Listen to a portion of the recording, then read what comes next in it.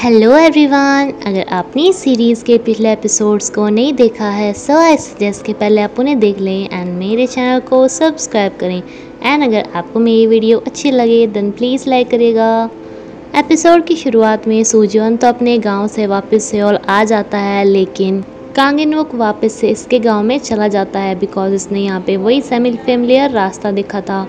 And ये इसके servant के पास जाके बार बार क्वेश्चंस पुट अप करने लगता है। कि जब उसकी वाइफ पाँच साल से कोमा में थी तो अचानक से ठीक हो गई एंड फिर अचानक से शहर में चली गई। सर्वेंट को सूजन पक्का करके गया था, जो इसे बोल देती है कि हाँ ऐसा ही हुआ था, कोई प्रॉब्लम है क्या? बट फिर भी इसे चैन नहीं आता एंड ये से कहता है कि अच्छा तो ये तो बताओ कि वो कौन सा दिन था? जिस दिन वो कोमा से बाहर आई थी, अब इतना ज़्यादा अच्छा दिन था याद तो तुम्हें पक्का होगा? सर्वेंट उस दिन की डेट बता देती है जिस दिन हाकियों की डेथ हो गई थी। एंड कांगिन वो कड़ियों से कड़िया जोड़ने लगता है कि उस दिन तो मेरी मारी गायब हुई थी। यानी कि पक्का इन दोनों का कोई लेना देना है। क्योंकि इस इवेंट के साथ ही रास्ता भी तो इसे सेम ही मिल गया था ना। इसलिए डिसाइड करता है कि अब तो इसे उस आर्ट गैलरी की ओनर हाकियों से मिलना ही पड़ेगा। मारी अपनी इस फ्रेंड को अपनी पेंटिंग देती है बेचने के लिए। एन ये फिर से इसकी आर्ट गैलरी में टपक आता है। जो इसे कहते हैं कि मुझे तुम्हारे डायरेक्टर से मिलना है, क्योंकि कॉन्ट्रैक्ट तो वही साइन करेगी। ये इसे कहती भी है कि वो अपने काम में बहुत ज़्यादा बिज़ी रहती हैं, लेकिन कांगी वो कहता है कि अभी तो वो कोमा से बाहर आई थी एंड बाहर आते ही इतना काम करने लगी। ये तो इनके सेहत के लिए बहुत ज़्यादा बुरा है। चलो वो यहाँ पे नहीं आ सकती तो तुम मुझे बता दो कि उनका स्टूडियो कहाँ पे है। मैं अपने आप जाके उनसे मिल लूँगा एंड दूसरी तरफ़ इसकी फ्रेंड इसकी पेंटिंग बेच के आ जाती है, जिससे इसे बहुत सारे पैसे मिले थे। हैरा कहती है कि जब वो काम करती है तो उन्हें किसी का डिस्टरबेंस पसंद नहीं है जिस पे कांगविन बुक बोल देता है कि कॉन्ट्रैक्ट तो मैं उन्हीं के साथ साइन करूँगा, वरना मैं हमारी कंपनी का एंड तुम्हारी गैलरी का कॉन्ट्रैक्ट ख़त्म। सूजी उनको सर्वेंट बता रही होती है कि कांगविन बुक बार बार इससे पूछे ही जा रहा था, इसलिए इसने सिर्फ़ डेट बताई। एंड तभी इसे यहाँ पे ये फिर से मिल जाता है। देन ये इसे कहता है कि मैंने तुम्हें कहा था ना कि मुझसे अब तुम्हें ऑल टॉलरेट नहीं किया जा रहा, फिर तुम बार बार यहाँ पे क्यों आ जाते हो? कांगिन मुखी से कहता है कि देखो, उस दिन तुम्हारी वाइफ सही हुई तो तुम उसे लेकर सीधे सेओल आ गए। उसकी तबीयत ठीक नहीं होगी क्योंकि वो तभी उठी थी। तो तुमने कार आराम से चलाई होगी ना तो क्या तुम्हें रास्ते में मेरी वाइफ मिली? क्योंकि वो उस दिन ही गायब हो गई थी। बट ये से बोल देता है कि नहीं, हमने तुम्हारी वाइफ को नहीं देखा एंड मुझे खुद काफ़ी बुरा लग रहा है कि तुम्हारी वाइफ गुम हो गई है। बट प्लीज़ तुम हमारी लाइफ में इतना ज़्यादा इंटरफेयर मत करो। ये मेरी तुम्हें लास्ट वार्निंग है एंड कांगिन वो किसे कहता है कि अगर मुझे बाद में पता चला ना कि मेरी वाइफ के गायब होने में तुम्हारा या तुम्हारी वाइफ का कोई भी हाथ है तो तुम अपनी सारी चीज़ें खोने के लिए ना तैयार हो जाओ। लेकिन सुजन वैसे बोल के चला जाता है कि मैं ऐसी धमकियों पर विश्वास नहीं रखता। कांगिन वुक ने हैरा को बता दिया था कि ये हाकिम के बारे में पता करने उसके गाँव पे गया था, लेकिन वहाँ पे उससे पहले ही सुजोन टपक पड़ा। सो हैरा इसे बताती है कि उसने पार्टनरशिप के साइन के लिए सिर्फ़ हाकियों को ही कहा है। सुजन उसे बोल देता है कि नहीं, हमें उसके साथ कोई पार्टनरशिप नहीं करनी पार्टनरशिप तोड़ दो जिस पे हैरा कहती है कि पता भी है, हमारी गैलरी बर्बाद हो जाएगी। पहले इसकी बहुत बुरी हालत चल रही है।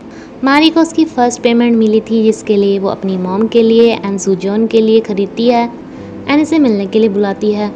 हैरा से कहती है कि तुम उसे मिलने तो जा ही रही हो, उसे बोल देना कि उसे हाकिम बन के प्रटेंड करना है। तुमने उसकी इतनी हेल्प की, क्या वो तुम्हारी इतनी सी हेल्प नहीं कर सकती? लेकिन सूजो इनसे मना करके यहाँ से चला जाता है इसके पास। ये आज अपनी फ़र्स्ट पेमेंट के साथ इसे डिनर करवाती है एंड इसे बताती है कि पता है मेरी पेंटिंग ना काफ़ी अच्छे पैसों में बिकी। एंड दूसरी तरफ़ कांगिन बुक को इसकी डिटेक्टिव बताती है कि मैंने सूर्योन के सारे पड़ोसियों के साथ बात की, किसी ने भी पाँच सालों से उसकी वाइफ को नहीं देखा है। एंड उनका कहना तो यह है कि शायद सूर्योन अपने घर में अकेला रहता है।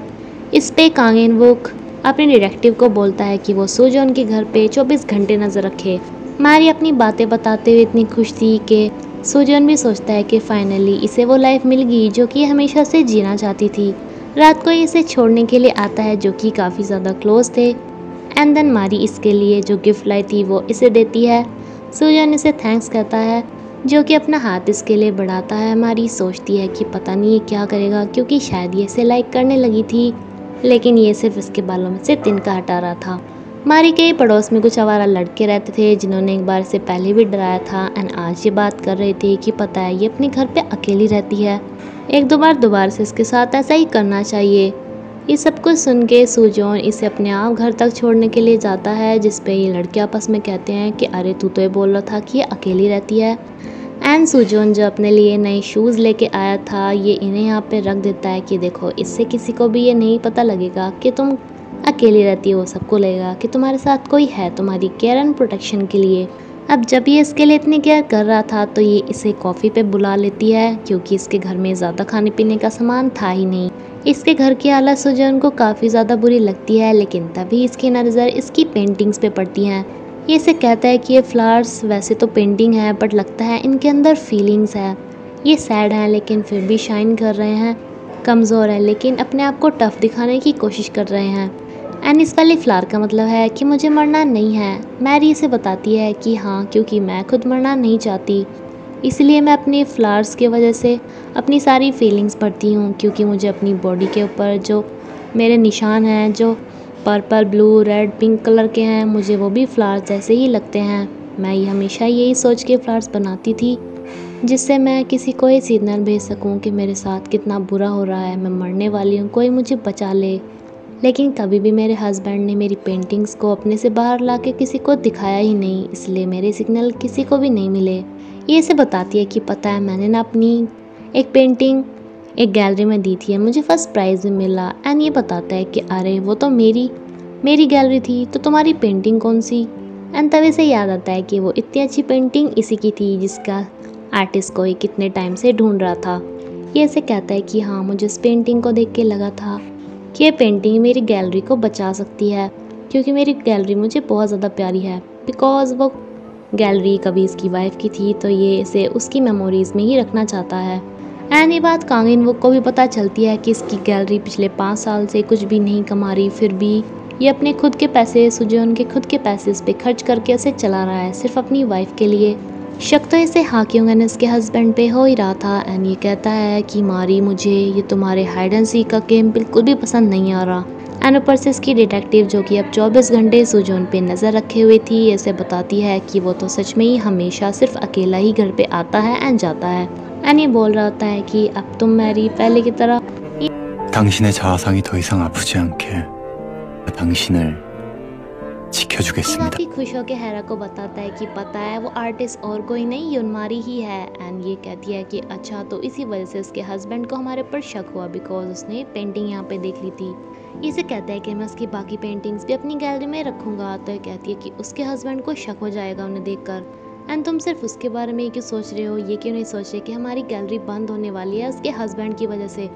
मैंने ने जो अपनी मॉम के लिए ड्रेस ली थी, इन्हें पहनाने के लिए जाती है एंड इन्हें कहती है कि जब मैं थोड़े और पैसे कमा लूँगी ना तो मैं आपको भी अपने साथ ही रखूँगी। एंड इसकी मॉम से कहती है कि वो डॉक्टर नहीं आए, जो तुम्हारे साथ पहले आए थे। पता है वो बहुत ज़्यादा काइंड है, तुम्हें भी उनके लिए कुछ करना चाहिए। ये भी अब सोच रहा था कि सूजोन कभी भी अपनी वाइफ के साथ क्यों नहीं दिखता। एंड जब कभी भी इसने हाकियों से मिलने की कोशिश की तो ये हमेशा इसे मना ही करता है या रोकने की कोशिश करता है। और तो और वो इस चक्कर में अपने गाँव में भी इससे पहले पहुँच गया। एंड जब हैरा की बात मान के सुजोन तो हाकियों को नहीं कहता, इसलिए खुद ही हाकियों को बुला लेती है।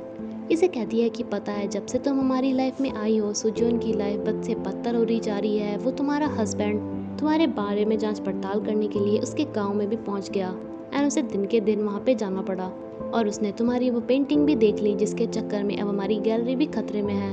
एंड मुझे पक्का पता है कि उसने तुम्हें इन सब बारी प्रॉब्लम्स के बारे में तो बताया नहीं होगा बिकॉज़ वो किसी और को प्रॉब्लम नहीं देना चाहता। मारी इसे कहती है कि आई एम सॉरी मुझे बहुत ज़्यादा अफसोस है कि उनके साथ मेरे वजह से ये सब कुछ हो रहा है। तो ये कहती है कि, अगर तुम इतनी ज़्यादा सॉरी फील कर रही हो तो क्यों ना उसकी हेल्प कर दो। हैक्यून बन के मिस्टर बुक के साथ कॉन्ट्रैक्ट साइन कर लो हमारी गैलरी के नाम पे। तुम्हें तो पता है ना वो गैलरी सूजी उनके लिए कितनी ज़्यादा इम्पोर्टेंट है। वो भी चाहता तो यही है, बस तुमसे बोल नहीं पाया होगा। एंड इतना तो तुम उसके लिए कर ही सकती हो। दूसरी तरफ़ सूजी उनके पास इसकी मोम का फ़ोन आता है, जो कि इससे पूछती है कि वो डिटेक्टिव वहाँ पे क्यों आई थी एंड क्या सब कुछ चल रहा है इसकी लाइफ में। अब ये बात इतनी लंबी इसे फ़ोन पे तो नहीं बता सकता था, इसलिए अपनी मोम को कहता है, मैं आपको घर पे ही आके बताऊँगा।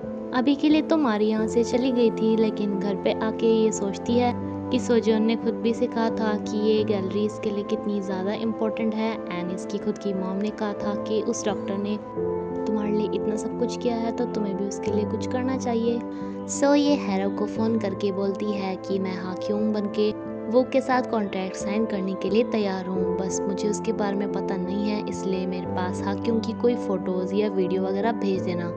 एंड अपनी गैलरी के बारे में भी थोड़ी इन्फॉर्मेशन दे देना। एंड इसी के साथ ही एपिसोड ये भी ख़त्म होता है फ्रेंड्स अगर आपको मेरी वीडियो अच्छी लगे देन प्लीज़ लाइक करेगा। Thank you